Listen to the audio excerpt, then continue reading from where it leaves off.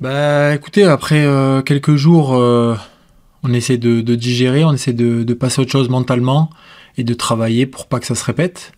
Maintenant, après le match, euh, c'était un peu amer parce que parce qu'on attend mieux de nous. donc c'est une contre-performance et, et, on travaille dur pour pas que ça se re, répète parce que ça fait ça fait trois fois à l'extérieur et et c'est pas ce qu'on veut de nous ben, on regarde, euh, on regarde ce qu'on a fait, on regarde ce qu'on a fait de bien, on regarde ce qu'on a fait de pas bien. Euh, moi, j'aime pas me cacher derrière des, une erreur ou quoi que ce soit. On aurait pu prendre un but euh, dans le jeu et on avait encore 45 minutes pour, pour en mettre un, pour en mettre deux pour gagner. Donc, c'est regarder ben, comment on peut mieux attaquer, comment on peut mieux défendre, ce qu'on a fait de bien, de pas bien.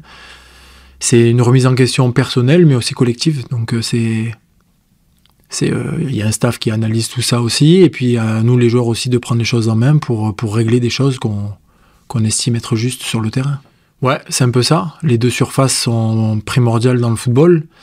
Euh, donc euh, c'est concrétiser aussi ce jeu de possession qu'on arrive à mettre en place. le ballon, on arrive bien à l'amener d'en bas jusqu'en haut. Et après, il faut qu'on arrive à être plus efficace et ça concerne tout le monde. C'est pas que les attaquants. Hein. Je je tire pas du tout sur les attaquants. Je pense que c'est nous tous qui devons être euh, un peu plus tueurs et avoir ce, cette volonté de, de, faire mal à l'adversaire pour concrétiser justement cette domination. Euh, oui, je suis dans je suis dans de très bonnes conditions. Après, je, je de ce que je veux faire, euh, je m'estime pas encore à 100%, mais euh, mais justement, je, je travaille pour pour atteindre ce truc. C'est c'est une toute notre carrière, on est dans, cette démarche-là d'essayer d'être toujours meilleur que le match d'avant. Euh, ce qui n'est pas chose simple, mais, euh, mais c'est notre but, c'est d'essayer de toujours évoluer, toujours être meilleur pour l'équipe. Voilà, mais je, commence à, aller un peu là où je veux être. Expliquer, c'est un peu difficile, mais je dirais que forcément, quand on est à domicile, euh, on est poussé par notre public et on sent que on doit être les patrons et on doit, terminer le travail.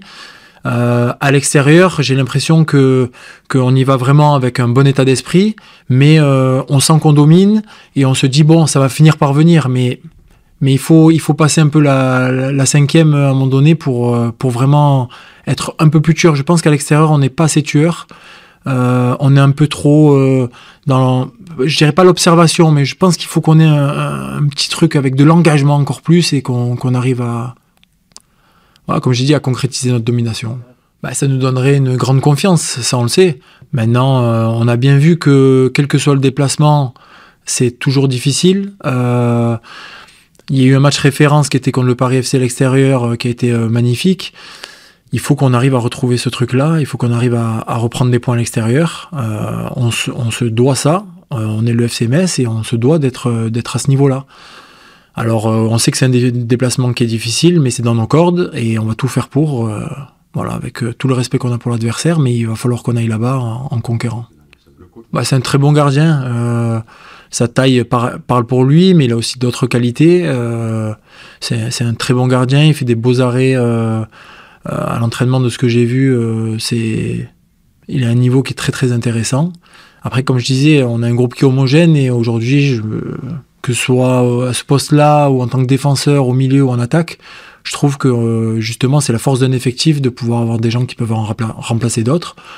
Il y a des périodes dans le football où on est un peu moins bien et c'est bien de pouvoir compter sur, sur tout le groupe. Bah, je pense que chacun vit, vit ses moments foot d'une certaine façon.